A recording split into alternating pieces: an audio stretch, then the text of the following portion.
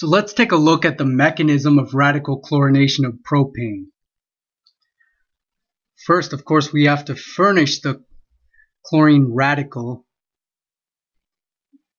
And this is going to require energy, usually in the form of UV light. That's the initiation step. And then the first propagation step is going to be hydrogen abstraction by the chlorine radical. So let me draw propane real quick.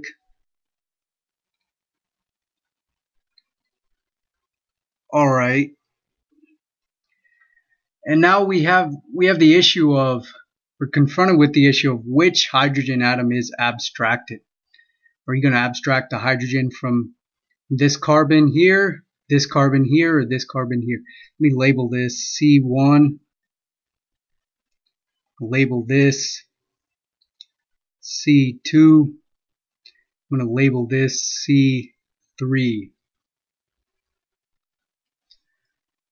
And hopefully you see that abstracting from C1 and abstracting from C3 are equivalent processes. So we'll just look at abstraction from C1 and C2. So let's say let's say uh, we were abstracting a proton from C1. So we'd have homolytic cleavage here and an unpaired electron be left off. We get HCl plus this primary pri primary uh, propyl radical. Now let's say we had abstraction at the at C2 at this carbon.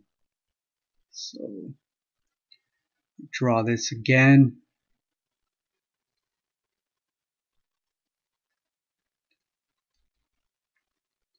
If we had abstraction at this carbon, here's what would happen. So we'd have homolytic cleavage.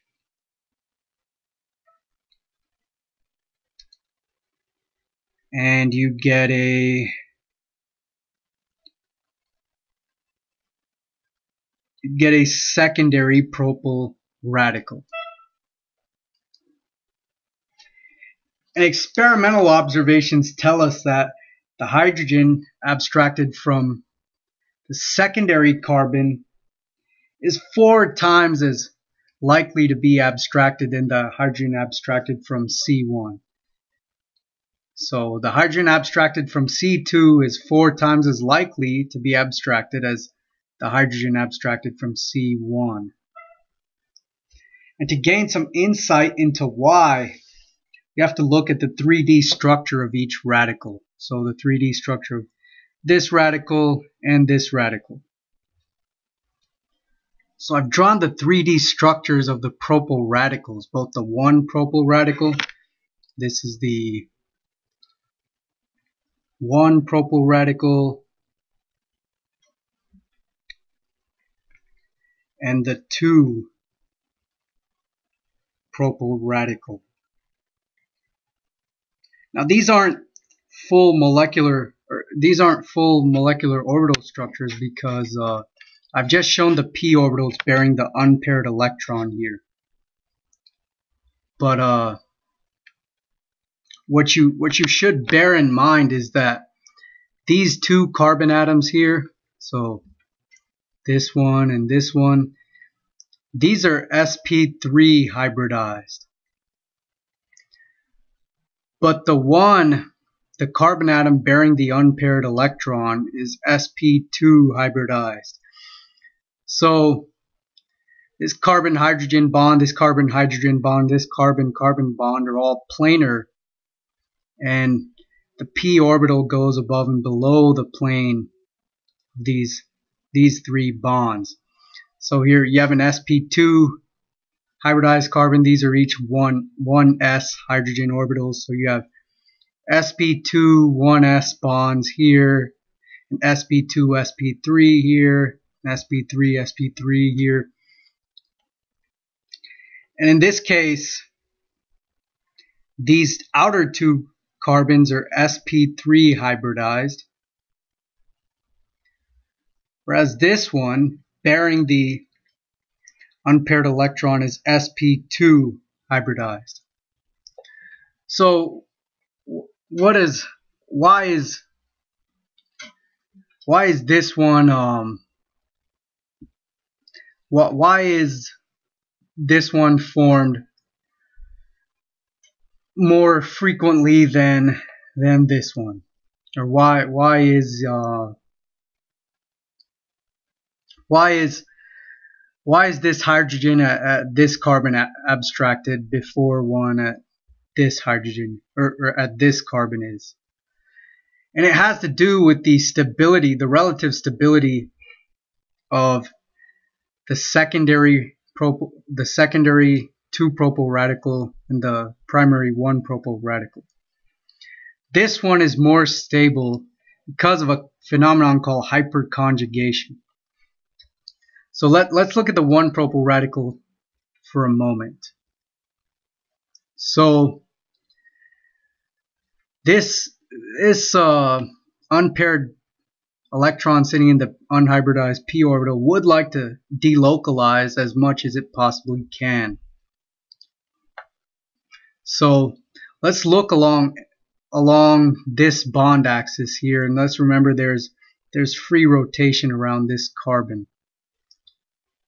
So we'll have we'll have that unhybridized p orbital and uh, I'm going to ignore these hydrogens here for a moment and you'll have there there's free rotation around around this bond. So this is this is the other methyl group. I'm gonna call it Me. A hydrogen here, a hydrogen here, a methyl here. Remember, there's free rotation around this bond, so this can get to the configuration. This guy can rotate, so you know it can it, it can get to the configuration where where where this this um, sp3 1s bond between the carbon and hydrogen is oriented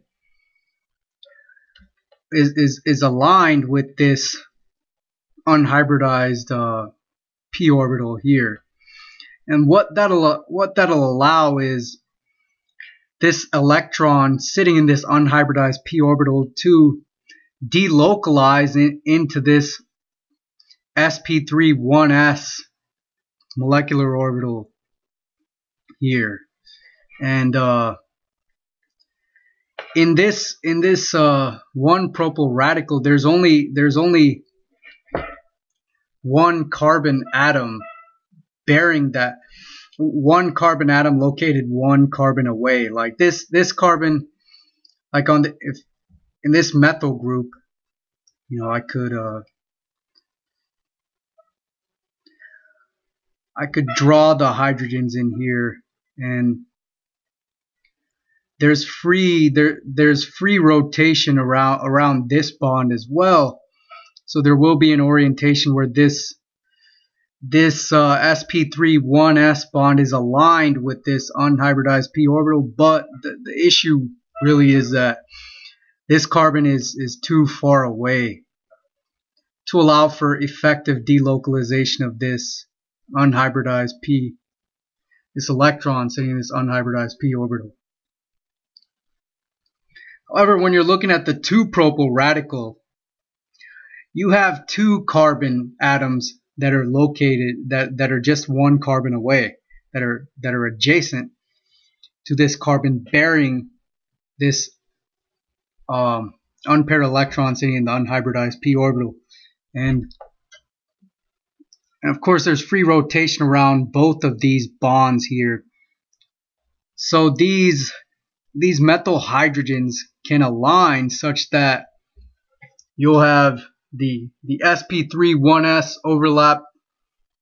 The sp3-1s molecular orbital here will be able to uh, bear some of this this charge sitting in this unhybridized p orbital. And it'll be delocalized across across two two bonds. Whereas here you'll only have delocalization with with only this bond here. With a secondary with a secondary um, radical you have you have more opportunity for that unpaired electron to delocalize.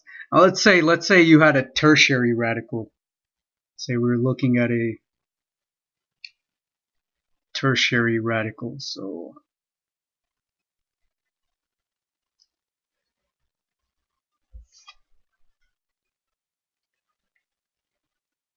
then uh, so I'm drawing a tertiary radical here. It's kind of a crude drawing but I've shown the the uh, unhybridized p orbital bearing the unpaired electron. And you can see here that there are there are three carbon hydrogen bonds with which this uh, electron can be delocalized. Here there's free rotation around each of these carbon carbon bonds they're single bonds, so the energy barrier to rotation is very, very low. So you will have an orientation where where you'll be able to have delocalization of this electron with all with carbon hydrogen bonds on all three of these carbon atoms. And this basically makes the tertiary radical the most stable. The secondary radical, the second most stable. And the primary radical, the least stable. Of course, when you have the methyl radical, which is just uh, just be CH3 and this carbon bearing an unpaired electron, there is no adjacent carbon atom to bear some of this uh, charge here. So it, it would actually it would actually look like it would actually look like something like this. You can see there's no unpaired electron here. So this carbon's sp2 hybridized and this is an unhybridized p orbital. There is no adjacent carbon atom over which this charge can delocalize. There's no adjacent carbon atom bearing a another CH bond over which this unpaired electron can delocalize. So this is the least stable. So I'll just go ahead and write it here. Uh, radical relative radical stability.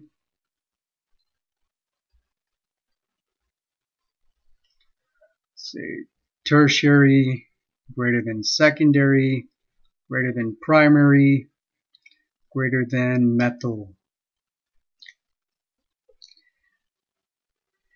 and so the uh, the secondary product the secondary so this this was just the the steps we showed here. Like this is just formation of the primary radical, and this is formation of the secondary radical. After this point, you'd actually you'd have a reaction with uh, diatomic chlorine, and of course you get homolytic cleavage here. And this would this would basically combine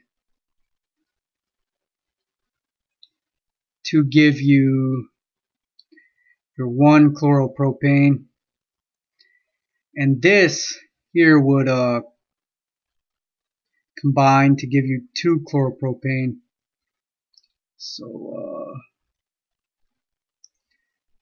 this would uh, come that way.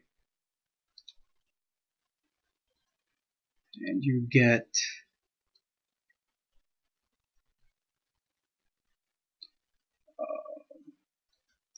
get 2 chloropropane and, and of course Cl radical. I forgot to write CL radical here. You get CL radical here.